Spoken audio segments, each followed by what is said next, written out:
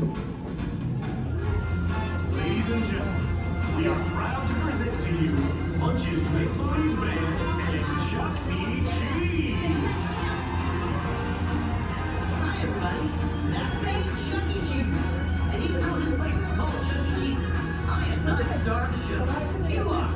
Because McDonald's only happens when we all get together.